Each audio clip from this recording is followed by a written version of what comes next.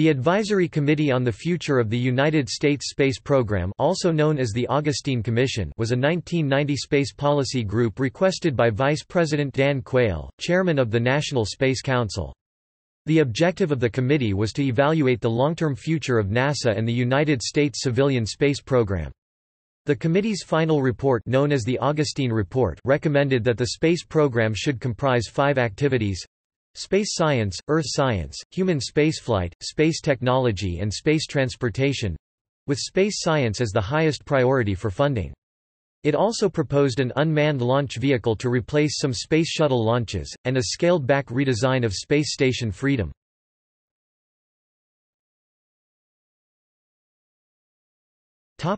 Original recommendations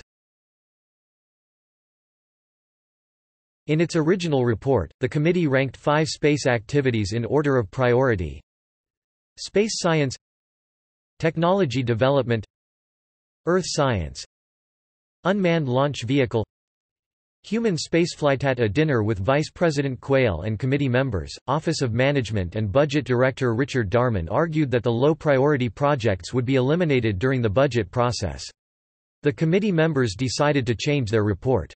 Space science was still given first priority, but the other activities were assigned equal priority behind space science. After discussing the Space Shuttle Challenger disaster, the executive summary of the committee's report recommended saving the Space Shuttle for those missions requiring human presence.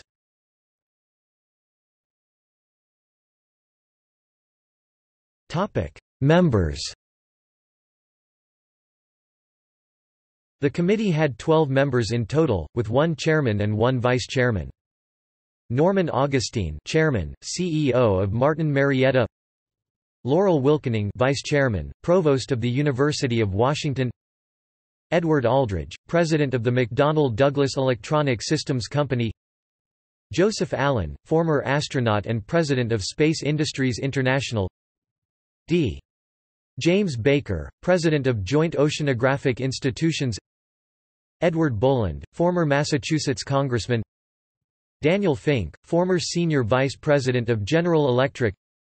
Don Fuqua, president of the Aerospace Industries Association of America. Robert Herres, former commander of the United States Space Command. David Kearns, chairman of Xerox. Louis Lanzerotti, chairman of the Space Studies Board. Thomas Paine, former NASA administrator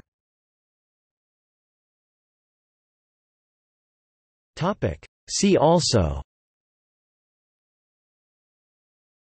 Criticism of the Space Shuttle program.